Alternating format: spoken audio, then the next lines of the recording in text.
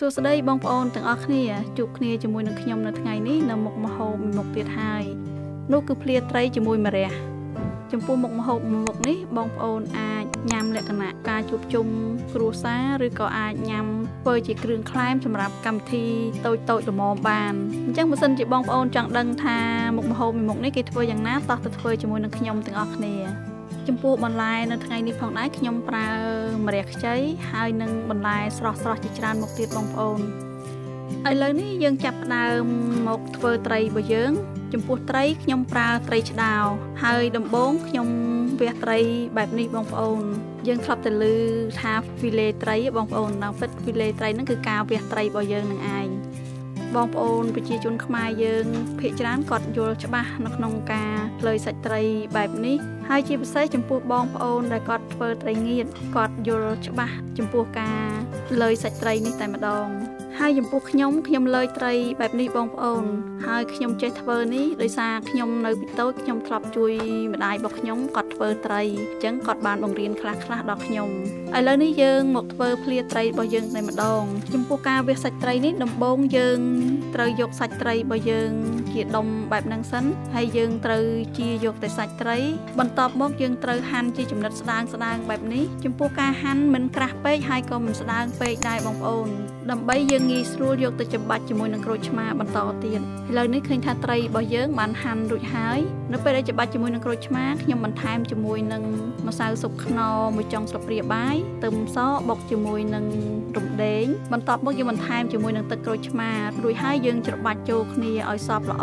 រួចហើយយើងយកទុកប្រហែលជា10នាទីបងប្អូនដើម្បីឲ្យសាច់ត្រីរបស់យើងបាត់ឆ្អាបបន្ទាប់ពីយើងផ្អាប់ត្រីរបស់យើងទុកឥឡូវនេះខ្ញុំចាប់ផ្ដើមមកហាន់បន្លែរបស់យើងចំពោះស្ពៃក្តៅពណ៌ស្វាយខ្ញុំហាន់ជាសរសៃឆ្មាឆ្មាបែបនេះរួចហើយខ្ញុំហាន់ពពាយបន្ទាប់ពីហាន់ពពាយរួចហើយខ្ញុំក៏ហាន់ស្ពៃក្តៅផ្ស ចំពោះបន្លែខ្ញុំប្រើតែប៉ុន្មានមុខនេះទេបងប្អូនបើសិនជាបងប្អូនចូលចិត្តដូចជាសណ្តែកគួរដូចជាបន្លែផ្សេងផ្សេងអញ្ចឹងក៏បងប្អូនអាចបន្ថែមពីលើនេះបានដែរហើយលើខ្ញុំចាប់ផ្ដើមហាន់ម្ទេសហើយនឹងគល់សក្រីរបស់យើងដើម្បីទុកលាយជាមួយនឹងភ្លាត្រីរបស់យើងតែម្ដងហើយចំពោះភ្លាត្រីនេះអ្វីដែលខ្វះអត់បាននោះបងប្អូនគឺម្រះនេះឯង ចំពោះម្រះនេះនៅពេលដែលយើងភ្លាជាមួយសាច់ត្រីរបស់យើងគឺមានរសជាតិឆ្ងាញ់មែនទែនបងប្អូនរសជាតិល្វីងតិចតិចហើយវាត្រូវគ្នាជាមួយនឹងរសជាតិជូរត្រូវគ្នាជាមួយនឹងសាច់ត្រីរបស់យើងតែម្ដងឥឡូវនេះបន្ទាប់ពីខ្ញុំរៀបចំបន្លែរបស់យើងរួចរាល់ហើយយើងងាកមកមើលត្រីរបស់យើងតែម្ដងចំពោះត្រីបន្ទាប់ពីយើងផ្អាប់ទុករយៈពេល10នាទីហើយយើងអាចយកមកច្របាច់ពូតយកទឹកចេញ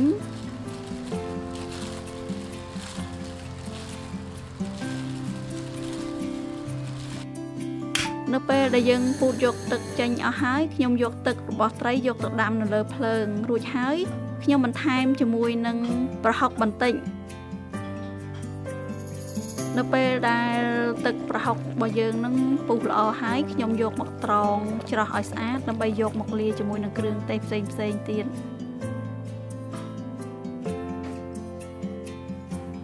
ឥឡូវនេះយើងចាប់ផ្ដើមមកលាយគ្រឿងផ្សំរបស់យើងដើម្បីធ្វើភ្លាត្រី ដំបូងខ្ញុំដាក់ស្ករសម្សៅស៊ុបខ្នុរប៊ីចេង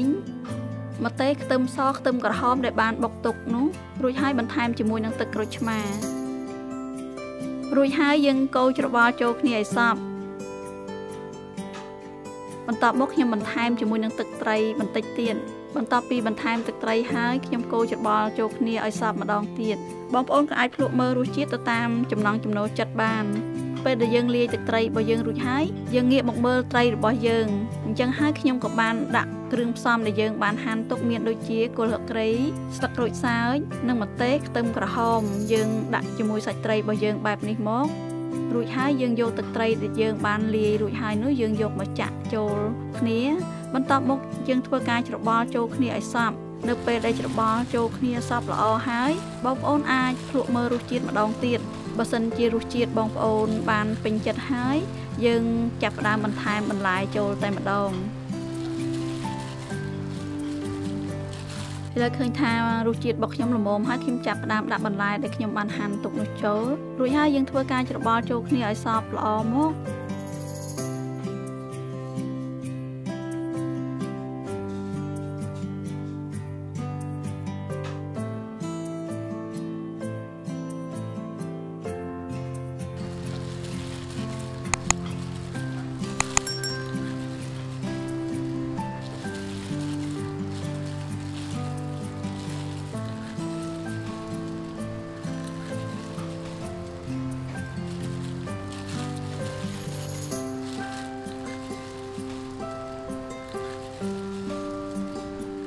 បន្ទាប់ពីបន្លែនិងត្រីរបស់យើងសព្វល្អហើយរសជាតិក៏ល្មមហើយខ្ញុំបន្ថែមជាមួយនឹងសណ្តែកដី បន្ថែមទៀតគឺជាការស្រាច់តែម្ដងបន្ទាប់ពីយើងដាក់បន្លែសណ្តែកដីហើយយើងច្របល់ចូលគ្នាឲ្យសព្វសាជាថ្មីម្ដងទៀតហើយខ្ញុំបន្ថែមជាមួយនឹងជីគ្រប់មុខបន្ថែមទៀតជីគ្រប់មុខរបស់ខ្ញុំថ្ងៃនេះខ្ញុំប្រើជីអង្កាមជីថ្ពាល់ត្រីនិងជីនាងវង រួចហើយយើងធ្វើការច្របល់ចូលគ្នាបែបនេះមកជាការស្រេច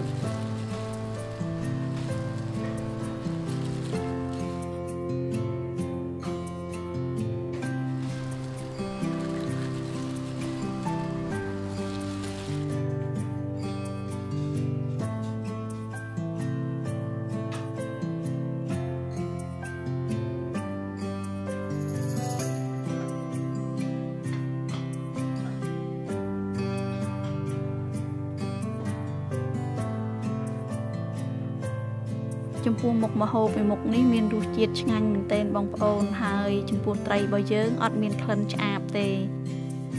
ចំពោះមុខម្ហូបរសជាតិតែមួយមុខមិនគ្រប់គ្រាន់ទេបងប្អូនអញ្ចឹងយើងគួរតែគិតទៅលើសោភ័ណភាពអនាម័យនិងរសជាតិត្រូវតែដើរព្រមគ្នាតែម្ដងអញ្ចឹងហើយនៅពេលដែលចម្អិនឆ្អិនរួចហើយបងប្អូនកុំភ្លេចរៀបចំ